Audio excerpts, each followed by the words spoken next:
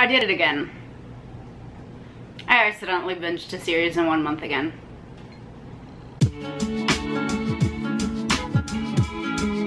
Hi friends, I'm Tati, welcome back to another video, and today we are going to be talking about the series that I accidentally binged in September. Yes, I am well aware that I made a similar video in August and it just happened again in September, okay? I just, I don't intend for these things to happen, they just do. And so here I am once again to talk about the series that I accidentally binged. And that series is The Illuminae Files. a little context as to how we got here. My friends Sammy and Isenia recommended that I read Illuminae. They've been talking about it in the chat for a long time and so I saw it at the bookstore one day and I was like, let's do it. Let's read this book and so I bought it. I am personally a sucker for mixed, mixed mediums in books. It is something I do in my own writing quite a bit, so I'm very excited whenever I have the chance to read a mixed medium book, especially because there are not many of them and I want more of them. And so I got the book and it took me a few weeks to get to it, but when I finally sat down to read it, I basically flew through it and I think I read it in like maybe two, three days at most and it's like a 600 page book. But I got through it so quickly and then when I went to the bookstore to grab the sequel, Gemina, they didn't have it. and so they told me that it was like gonna come in one of the next shipments. So I like asked for them to call me and a few weeks later, like two weeks later, they called me, oh, it's here. And so I went to pick it up.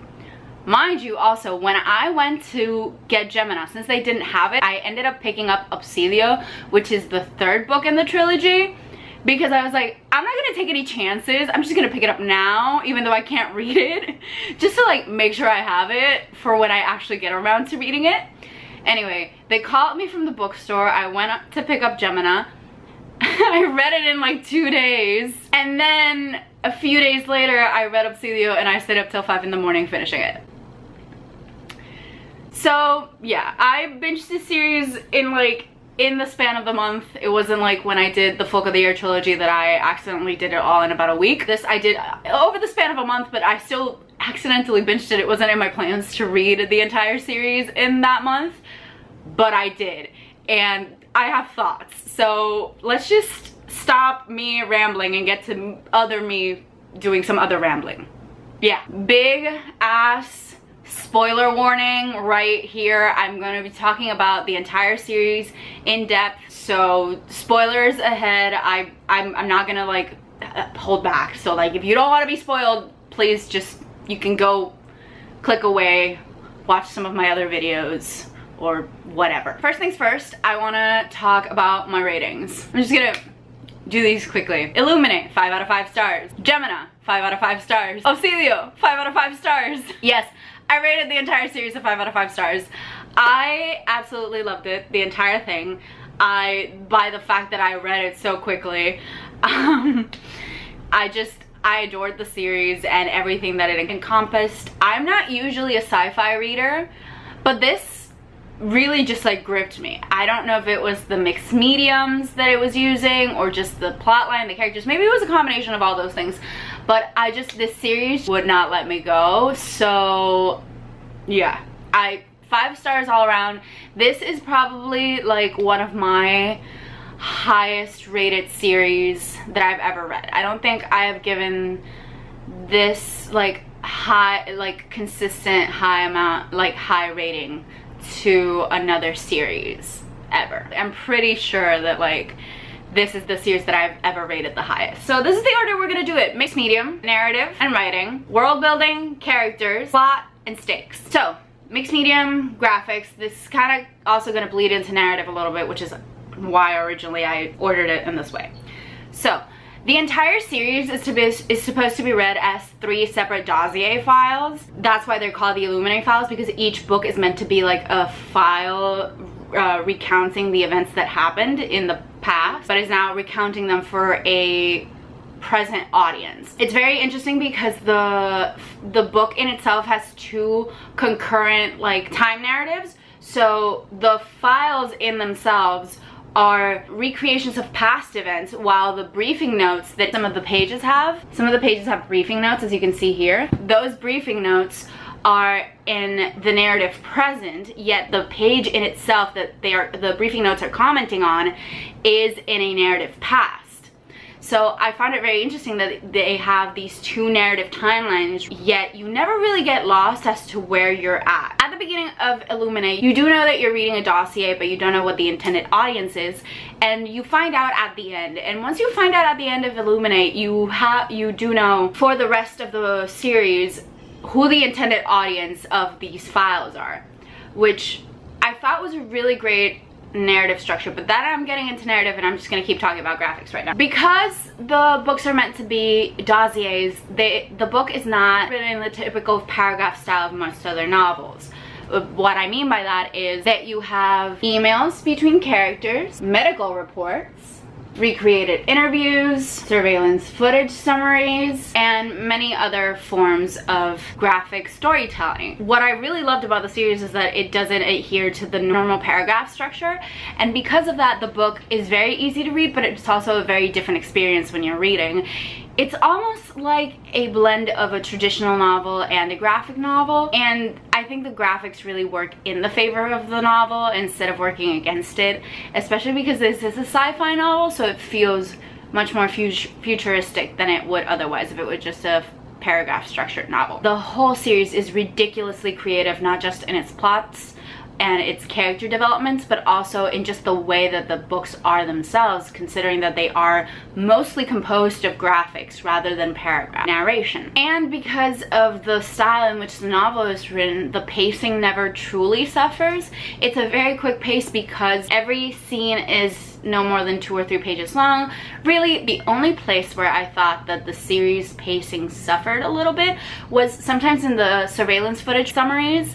Um, those sometimes would drag on just a tad too long, maybe like a page or two too long, especially because they weren't in a traditional paragraph structure.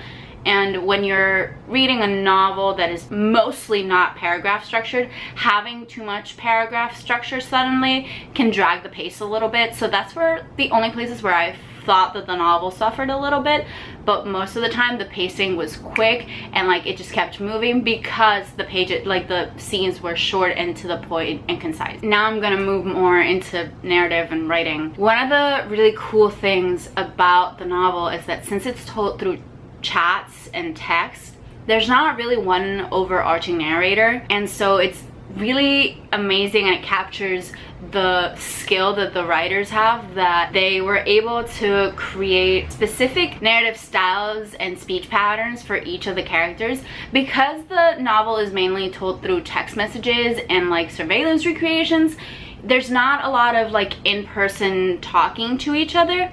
So it was really important that the characters narrative styles and like a feel you get a feel of the character very easily through their text speak which can be hard to do as we all know that texting is very complicated and very hard um, but the the writers did a really great job of creating specific speech patterns and narrative styles for each of the characters that you could always tell who you were talking to and if like there were subtle shifts in a character's speech patterns and text patterns, you could tell. And I thought that was really, really well done. Like I said, my only big complaint with the writing was that sometimes the footage summaries tended to go in a little bit too long.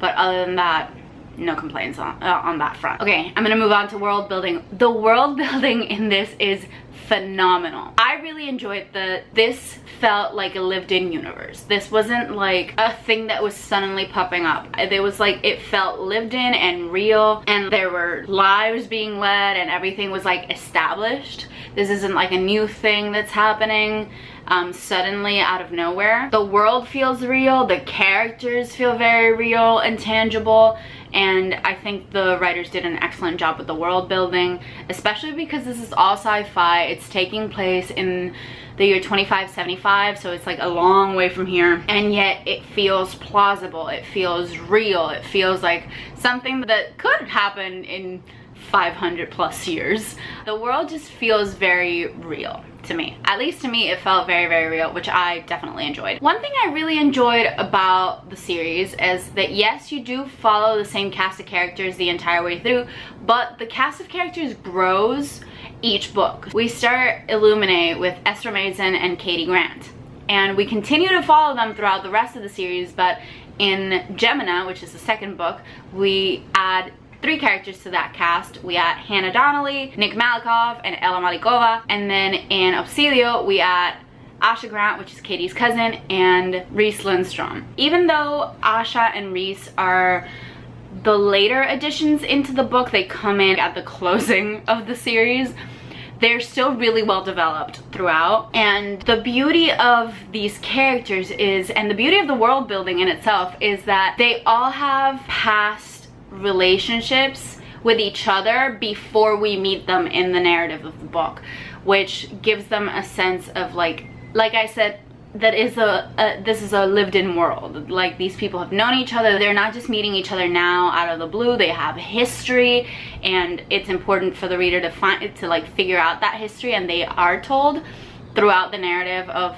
each character's history with each other. But them having that history in itself is what gives credence to the rest of the world building and to the narrative. These books have two very big interwoven things. The plot in itself is interwoven, which I will explain later, and the characters are interwoven because this book basically plays six degrees of separation with their characters. Because it takes place in space, there's a, a, vast distance that needs to be covered somehow in order to create relationships between these characters, right? So it basically plays Six Degrees of Separation with its characters. Kady Grant and Ezra Mason are our main characters in Illuminae, right? And in Gemina, the our three main characters, Hannah, Ella, and Nick, don't know Kady and Ezra. But there is a connection between the five of them, and that is Kady's father. Kady's father works in the station where Hannah, Nick, and Ella live and Hannah and Kady's father meet in the events of Gemina and have to work together. So when Kady and Hannah meet in Obsidio, they have that one degree of separation that brings them together. And the series as a whole follows that pattern of playing six degrees of separation between each of their characters to give them what, that one point of commonality that brings them together in the narrative. I'm gonna move on to plot now. Like I said earlier, the plot of this book is very interwoven. I wanted to talk about it kind of in like micro and macro terms because in the micro of it all, each book has a contained story arc and it outlines the happenings of that specific story arc. But in the background of it all, there is an overarching plot line that you're not following constantly but it's always in the back of your mind that this like overarching big picture plot line is there right? I think that the writers did a really good job of like having those two plot lines side by side but never the bigger picture never fully overshadowing the closed plot line of the moment of the book. So I'm gonna explain better. Illuminae focuses on when the colony that Kady lives on is attacked and she and the population have to jump on these battle carriers and science ships to be saved from the corporation that's attacking their their colony, right? And so it focuses on that, on her surviving in in space now, basically and it isn't until the end that you get to see the like the bigger sinister plot line at work right? Then Gemina. Gemina focuses on the space station that Kady and the survivors of her mining colony are going to. But it focuses on the space station where Ella, Hannah, and Nick live. And so we spend most of the narrative of the book there, and it isn't until like three-fourths into the book that they like collide together finally. And then because you already have the major plot line that was established at the end of Illuminae in the back of your mind, you still remember that this is happening. And because you're not focusing on, on Kady and Ezra, you're constantly in the back of your mind like, oh, when are they gonna show up? Because they're coming you know they're coming so you're it's constantly in the back of your mind that this is there's a bigger picture at play here. And then at the end of this novel again the bigger picture comes back to the foreground and you're like oh shit's going down. And then in Obsidio it focuses on the people that have survived the mining colony being attacked and the destruction of the space station that they were going to coming back to the mining colony because they find out that there's still survivors and there's a way to get off that system. And it focuses on that, but Obsidio is really the one where the writers have the most at play because they have to balance the bigger plot line with the plot line of the people at the colony, which is where Asha and Rhys are. It is a balancing job that is not easy to accomplish, but the writers accomplish it masterfully, truly. Really, kudos to the plot for like being able to keep the bigger plot of it all in the background without never overshadowing what's actually going on. And in Obsidio, you really do have it in the back of your head that this is gonna, that like, the ships are coming, there's, we're all moving towards a collision course at this point. And that's also because while in Gemina, you mostly focused on the space station where Hannah, Nick, and Ella were, here in Obsidio, you really do focus on all the characters, like the whole cast of characters. So you're constantly flipping back and forth between the mining colony and um, the spaceships where Kady, Ezra, Ella, Nick, and Hannah are. Jesus, there are a lot of characters in this book.